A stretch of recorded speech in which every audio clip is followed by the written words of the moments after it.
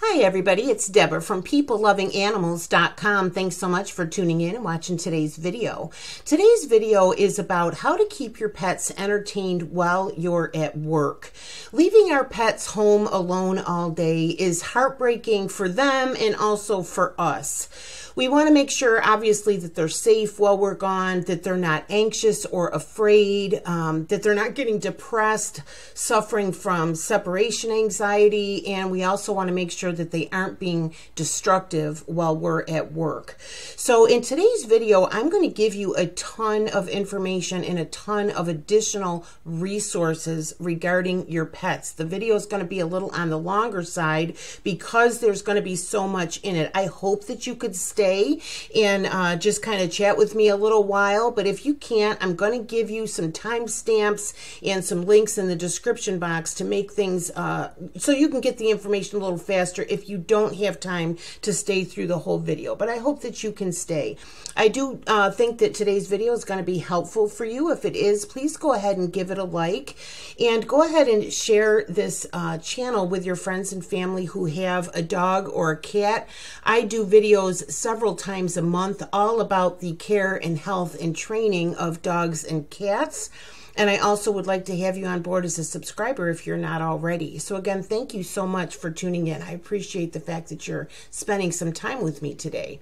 Now, if you've not been here before, you don't know, my name is Debra. I own this website called PeopleLovingAnimals.com. And we're going to use this post from my website called Keeping Pets Entertained While at Work to guide us through today's video. Now, I'm going to give you a link to this post in the description box. Like I say, if you don't have a lot of time, you'd rather go to the post, you'll be able to see the tips listed very clearly and save you some time. But I am going to be talking about some pretty valuable um, additional information today uh, in the video. I'm also going to timestamp for you in the description the tips for um, entertaining your dog while you're at work and the tips for entertaining your cat while you're at work if you just want one or the other. So let's go ahead and get into it. First of all, how to keep a dog entertained while at work. I've got six tips for you on this. First of all, is to provide toys, but provide good toys. Uh, you might try interactive toys. You might try Kong toys. If you're not familiar with those, those are plastic toys that you put treats inside of, and the dog chases it all around the house to get. Um, to get the treat. It keeps them entertained. And also, if your uh, dog is doing any damage while you're away, you might consider a chew toy uh, that might be a little better at keeping them occupied and not chewing on your couch while while you're away. So I'm going to give you some links in the description box to go ahead and get some of these toys. Okay. The second tip I have for dogs is to let them watch TV. Several years ago, I had a miniature dachshund named Maggie, and my dad would make fun of me for um, leaving the radio on for her. I would leave the radio on for her all day while I was at work. And he would, he's like, You're leaving the radio on for the dog? Well, it is useful. It not only calms the dog, you have just like a classical station on it, soothing music, but more importantly for me in that circumstance with that particular dog, I needed to kind of drown out the noises of the neighborhood because she would get riled. Uh, you know, she somebody, you know, the neighbor comes home, somebody's slamming a car door, somebody's going by on their bike, there's kids, and I just didn't want her to be upset by it by any of that during the day. So it was a good idea to leave the radio on for her. You could also leave the TV on.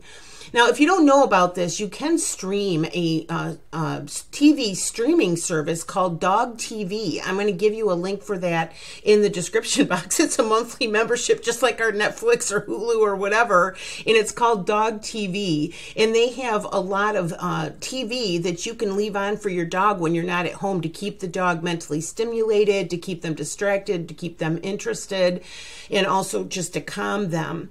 Another option is they have tons of hours long videos on YouTube for that as well. And I'm going to give you a link to go directly to look at some of those uh, videos. Now, the thing with the TV is you want to make sure that uh, either you don't do it every day or you change it to different videos and stuff because so the dog doesn't get bored and it's no longer effective. Okay. Uh, a third tip is to let them look out a window. Dogs are usually quite content to look out a window for several hours at a time. It keeps them distracted, especially if there's activity outside. Um, again, you want to make sure that seeing things outside is not going to overwhelm your dog. If they're going to get upset and get aggressive and be barking at the neighbors all day, you don't want your dog to be in a, an upset, riled up stage all state all day. So, if that's the case with your dog, you might want to close the blinds and just eliminate them being able to see all that stuff. Um, by the way, if you are having a problem with your dog barking while you're at work, uh, maybe the neighbors are letting you know, or maybe the dog starts barking before you even pull out of the driveway, I'm going to give you a link for a free tutorial from professional dog trainer Doggy Dan on how to get a handle on the barking situation. You're going to find that it's quite effective and helpful. I'll give you the link for it in the description box. The fourth tip for dogs is to make sure they get enough exercise. They say a tired dog is a good dog. So if you're able to take your dog for a walk before you leave for work, that's ideal. They've been outside, they've had some activity. The fresh air and exercise is going to help them to sleep during the day, burns off their energy, helps if you have a young dog or a hyperactive dog. But if that's not possible, just make sure that you're walking your dog every day at some point, that the dog is getting exercise exercise. If you have kids, have them be playing with the dog outside in the yard every day. Dogs really do need exercise. And a dog who has not burned off their energy is a dog who's going to be more likely to destroy your couch or destroy things uh, while you're not at home. Okay, so exercise is a big factor for dogs. The fifth tip I have for you is to give them play dates. You can take your dog to a dog park regularly, or you can set up dates with your neighbors or family or friends who also have a dog so the dogs can play together. Um, if your dog will play with other dogs, it's a great way to keep them fit, mentally stimulated, and happy. Making sure that your dog doesn't have pent up energy is important for them to be well behaved at any time, especially when they're home alone. Can't stress enough how important it is that your dog is getting enough exercise. But obviously, if your dog has a health condition of some sort or if they're elderly, you're going to want to. Um, you know, use good judgment as far as exercising. I'll try to remember to give a link for you. If I don't, you'll see it in my um, pet health playlist, I believe it is. Could be under the pet care playlist. Um, exercising senior dogs. I have a video about that if you need some help with that. The sixth tip I have for dogs is to hire a dog walker or a pet sitter. This doesn't have to be a paid service, but of course it can be. Uh, if you would love to have somebody either checking in on your dog or coming in and walking your dog every day while you're at work, I'm going to encourage you to read my article called How to Find a Good Dog Sitter. It includes a video, and I'll give you the link for that in the description box. It comes with up with a lot of uh, great ideas on how you can arrange for that um, whether it's a paid option or not a paid option. Now, if it is serious, if you're really having a problem with your dog and you're like, oh my God, you know, the dog is not okay while I'm at work, um, I'm going to give you a couple of uh, suggestions. First of all, you might want to um, give a call to your veterinarian and tell them about it. Your veterinarian could have some good suggestions for you. You also might consider whether your dog is suffering from dog separation anxiety. I'm going to give you a couple of things for this in the description box. I'm going to give you my article called Treating Dog Separation Anxiety helping your dog to stay home alone. That includes a video.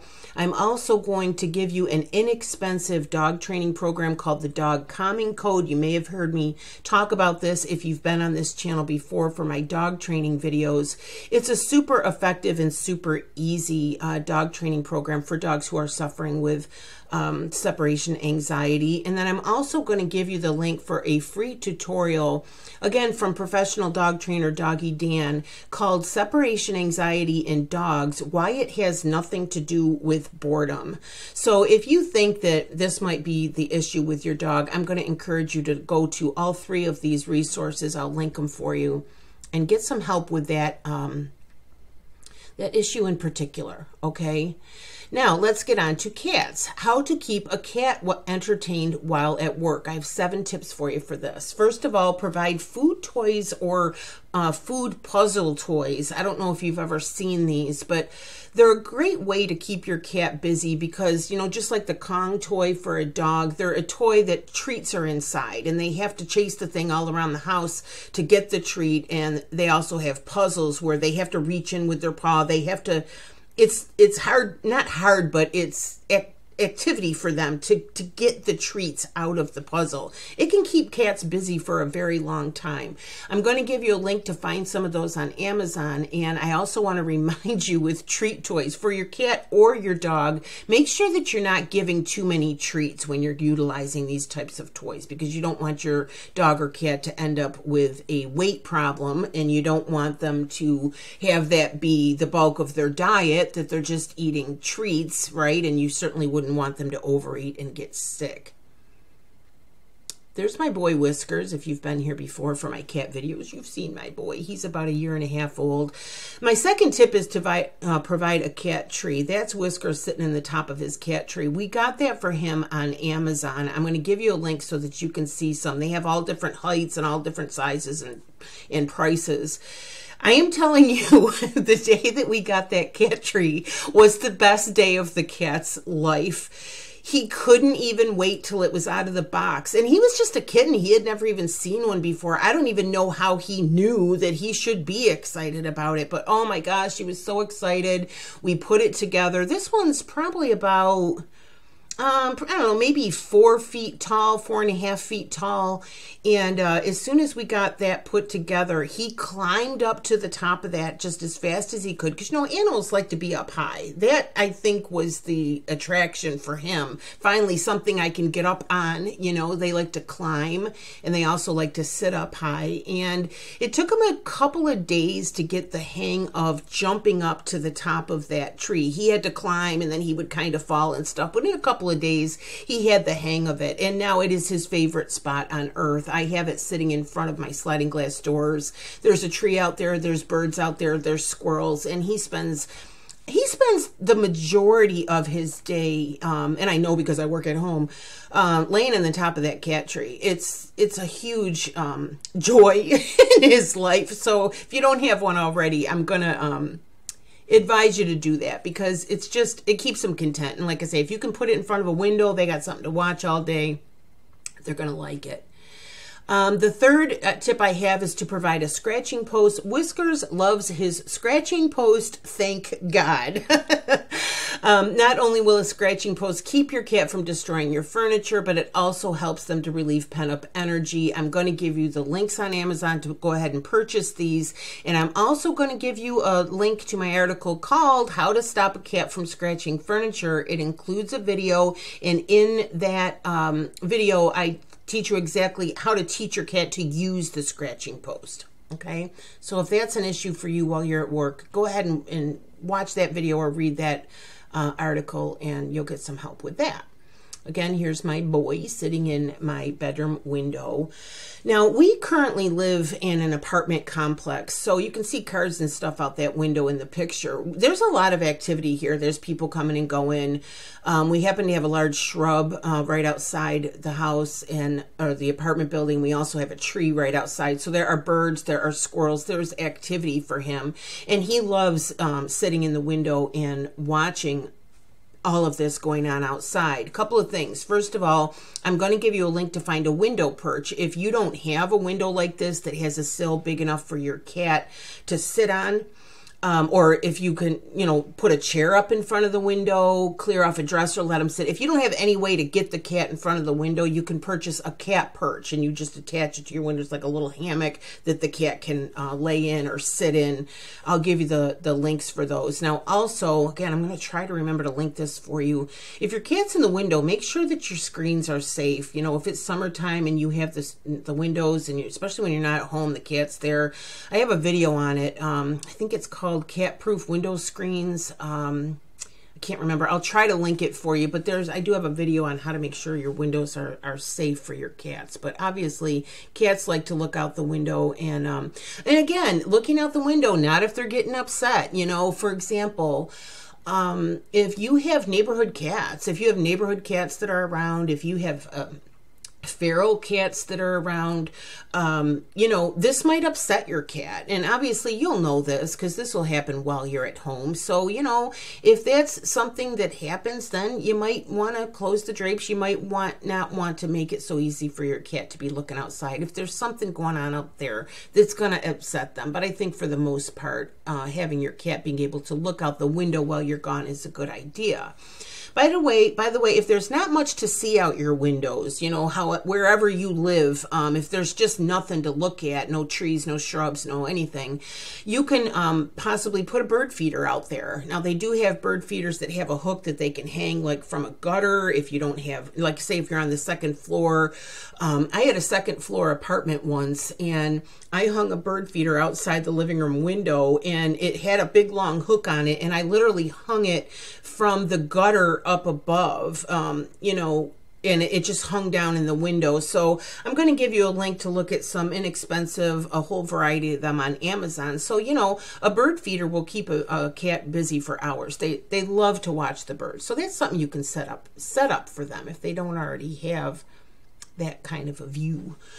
The fifth tip I have for cats, just like dogs, provide music or TV. Now, there are studies that show that soothing music can, in fact, um, affect a cat's behavior. It can help to calm them down. Again, like I said with the dogs, you can put the radio on with classical music on softly all day.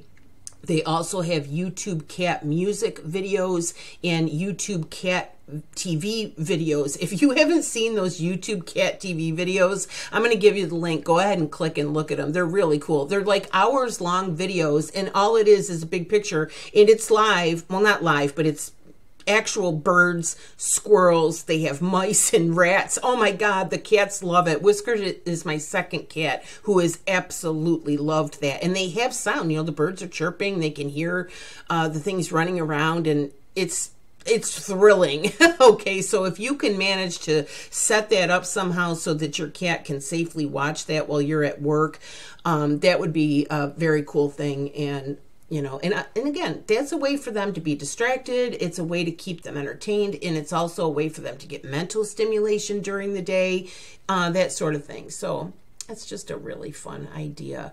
You know, I did not ever think of this until I was researching to write this article for my website. You can get a secured fish tank or a fake fish tank.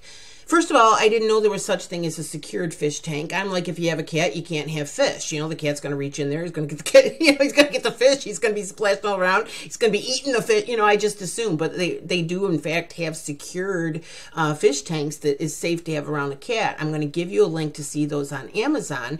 And they also have fake fish tanks. I'm going to give you the link for those. Now, I don't know if those are made specifically to entertain cats. I think they're more for kids. Um, but they're very cool and you can get all different sizes. You can get one that's just the size of a little fish bowl. You can get bigger ones. You can get ones that look like a lava lamp, if you know what I'm talking about. Uh, it's like a tube and the fish are swimming around there and it's like fake, but they're, they're actually moving around, moving around. And so it's, it's a good way to entertain your cat. Uh, and you know, that's nice too. If you don't want to bother with a fish tank, you know, I've had fish tanks, uh, in the past and they can be a lot of work. You got to clean them and and everything. So take a look at those, um, the secure fish tanks and also the fake ones, and see if that's something you might want to set up for your cat or your kids if you have kids. They're also very soothing, so you might want to set it up for yourself. Um, you could set it up in your bedroom and have it on at night, and it's it's a very soothing sound. I don't know. I never knew they existed. Another tip I have for cats is to find a, uh, oops, I'm sorry, I got a little pop-up coming up here, is to find a trusted cat sitter. And again, this does not have to be a paid service, but it can be. Now, if you would like to have somebody coming in uh, while you're at work to spend some time with your cat, I got uh, really good ideas for you on how to get that set up. And I'm going to give you a link to my article called How to Find a Good Cat Sitter. That includes a video so that you can get more help and information on how you can arrange for that, okay? Always remember your cat does need exercise, they need mental stimulation, they need fun, and they need time with you every day. I'm going to give you a link for a video from cat expert Jackson Galaxy on the best way to play with your cat. He's got some ideas on how to engage with your cat. If you don't know Jackson Galaxy, he had a um, TV show called My Cat from Hell on Animal Planet, and he basically goes into people's houses and helps them with their cat. You know, their cats are fighting, whatever. And he is, in fact, a cat expert. He's got a YouTube channel, and it's very good. So I'm going to give you a link to one of his videos about playing with your cat and how important it is to play with your cat every day. And again, just like we said with the dogs, if you have an elderly cat or if you have a cat with health issues, be careful on uh, what you're doing. You don't want to overexert them and you don't want to give them things that are going to have them overly excited. And, um, you know, speaking of pet sitters, if you have an elderly animal, uh, dog or cat, or one with a health condition, might be a good idea for you to set up for somebody to come in every day. Um, make sure that you introduce, make sure they're not frightened by the person. Somebody to just come in and check on them and make sure that they're okay. And you know, the other thing too, which article was it that I wrote? It might have been um, caring for senior. Uh, I think the article is called uh, "Caring for an Aging Cat" or a Senior Cat. I have videos on that. Um, one of the things about elderly animals is just like people, the older they get and the more health issues they have, the more scary it is for them to be home alone.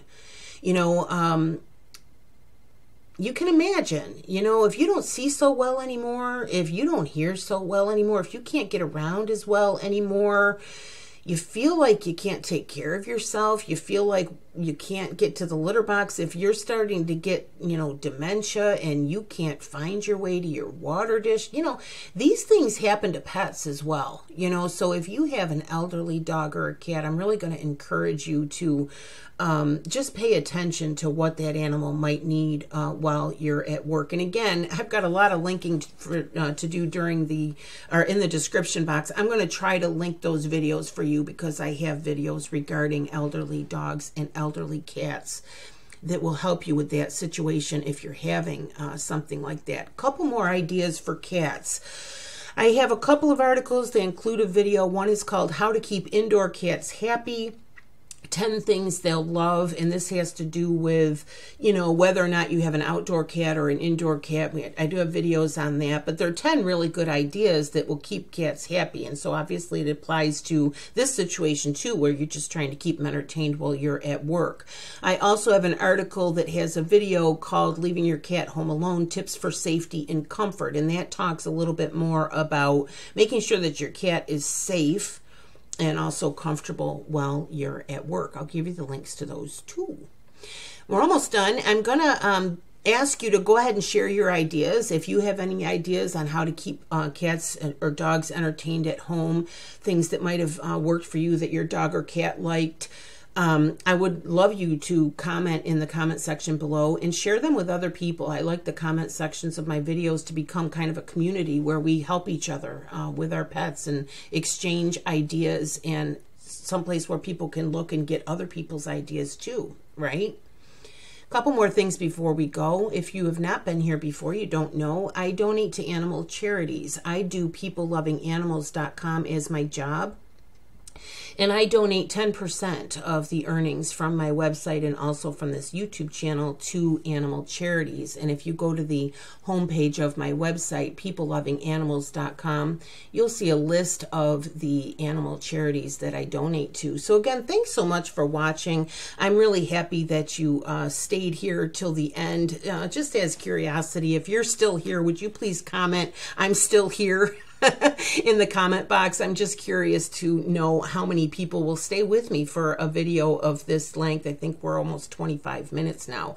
So I hope the video was helpful. If it was, please go ahead and give it a like. Please subscribe if you're not already. Please go ahead and share this video with your friends and family members who have a dog and a cat. I would appreciate that so much. Please feel free to comment with questions about anything. If I can help, I'm happy to do so. Again, thank you so much for watching. My name is Debra, and my website is peoplelovinganimals.com. Thanks again. Bye-bye.